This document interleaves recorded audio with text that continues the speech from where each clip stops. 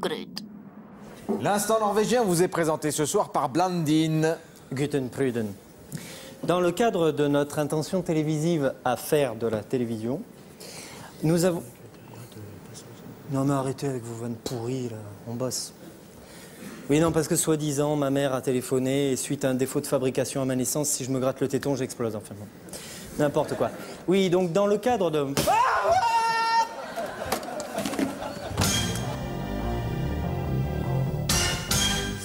c'est le 52e numéro de Grand Reporter Mannequin. Alors, si vous aimez les grands reportages réalisés par des reporters mannequins, ne zappez pas, c'est tout de suite avant la pub. Claudio Schiffer, salut. Salut. Alors, toi, tu reviens de Tchétchénie. Ouais. Et t'as plein de choses à nous raconter.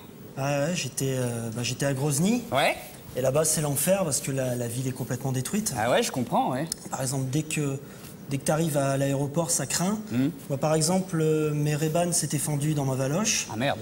Et là-bas, euh, bonjour euh, les ultravés dans la gueule, tu vois. Ouais. Parce que les gens là-bas, tu vois, sont malheureux. Ah. Mais le soleil reste très présent. D'accord.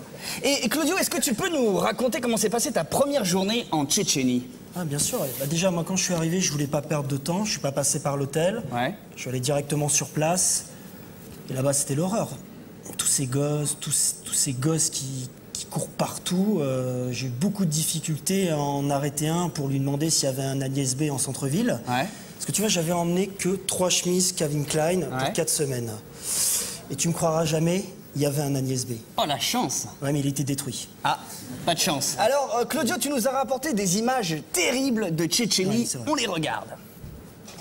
Voilà, alors ça, tu vois, ça c'est mon, mon pantalon Jean-Paul Gaultier, Ah ouais déchiré. Oh là Bon, il n'y a pas de traces de sang hein, parce que je m'étais pas coupé, Ouais. mais c'est dur. Ouais.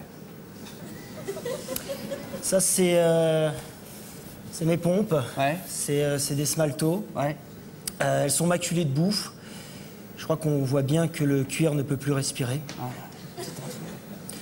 Et ça, c'est moi. Ouais. Je suis beau.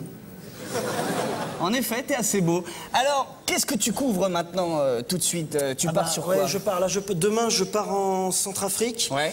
Je vais couvrir la collection euh, Printemps-été des rebelles. D'accord. Claudio, merci. De rien, Jean-Charles. Quant à nous, on se retrouve très prochainement. Et pour les vêtements, méfiez-vous des contrefaçons Dis donc, tu ressembles pas tellement à Carl Zero. Parce que toi, tu crois que tu ressembles à un mannequin Enculé, va. Salut Oh là, oh là ah, Bruno, fais gaffe, tu vas te péter la membrose. Hein La membrose, c'est le muscle qui va de là, comme ça, qui passe là et qui va jusqu'à là. Après, tu, vas, tu pourras plus mettre ta jambe à l'angle droit, comme ça. Laisse faire, laisse faire, mon gars. Non mais attention. Doucement, tiens, tiens, c'est bon, je, je tiens. je- non